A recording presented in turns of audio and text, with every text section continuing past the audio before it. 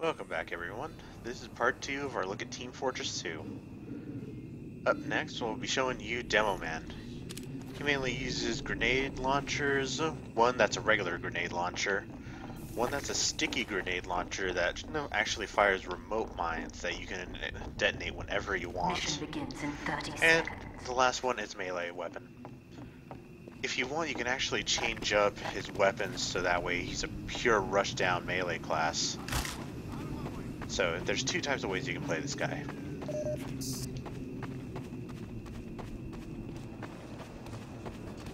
Mission begins in 10 seconds. Let's see how this round goes. Five, four, three, two, one.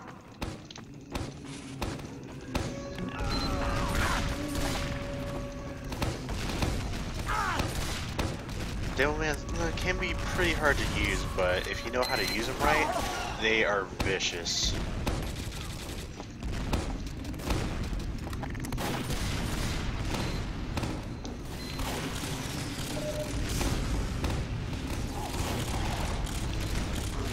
Right now, I'm setting up a couple of remote mines so that way if anyone gets on the point, I can detonate them and destroy them.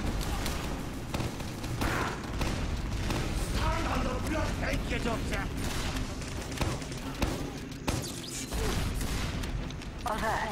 The, alert. The control point is being captured. yes. That's the way. Once again, if I end up sucking with some of these characters, that's how it's going to be.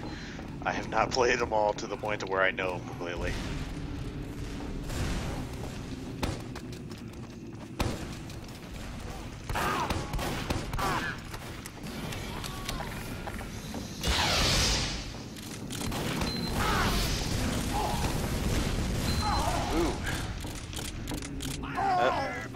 Still got me with his flames.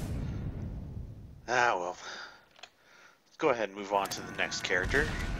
The Heavy.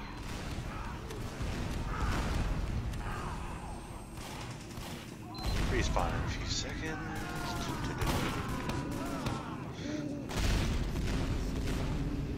There we go. Alright, as you can see, the Heavy uses a huge machine gun that can f- Alert. just fire like a the turret. control point is being contested. Well, like a machine gun, whatever.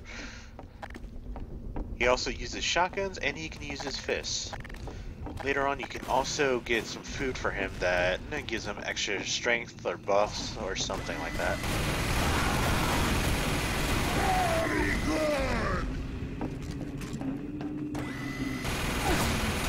Thing you want to avoid with heavies is getting in close range with them. Because their bullets do massive damage at a close range.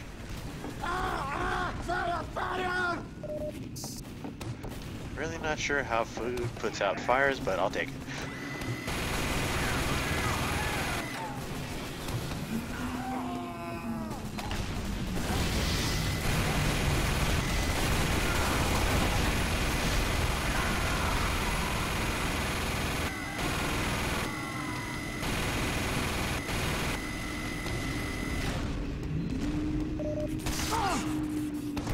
Oh god. Ah, spy got me. We'll have to get to those in a little bit. Move on to engineers.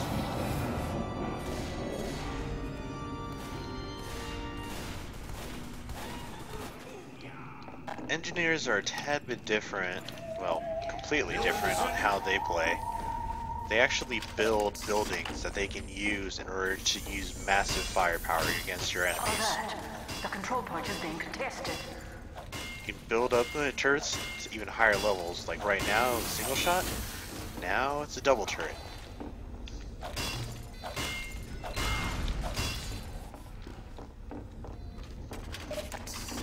You can also build little things to help your allies, like that teleporter I just made. You can upgrade that so that way it teleports people faster to the next point. Alert. The control point is being contested. Alright, got that up. I'm going to now move on by carrying my building here. And hopefully help out in the defense of the capture point.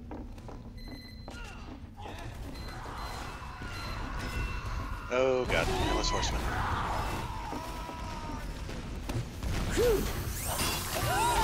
That's not good. I have to tag an enemy or else this guy is gonna kill me. Come here. Be it! And now I am safe from the Headless Horseman.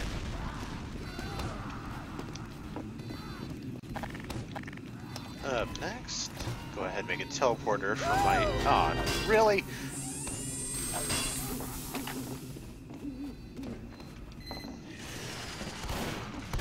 There we go.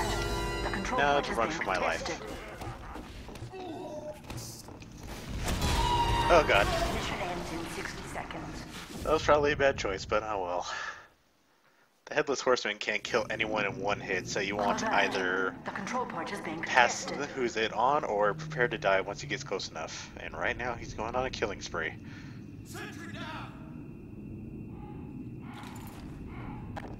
Engineers can also use guns. That was scary. They can use shotguns and pistols as well. mission ends in 30 seconds. Let's see. As you can see right there, Headless Horseman can be defeated. So, he takes a lot of damage though in order to kill, so you have to be careful of that. Oh, that was stupid of me. Oh. Five, four, three, two. Going to head back to heavy for the rest of this round since it looks like it might be over soon if my teammates can keep this. Victory. There you go. Three more classes for Team Fortress 2. I'll be finishing up the next video with the last three classes.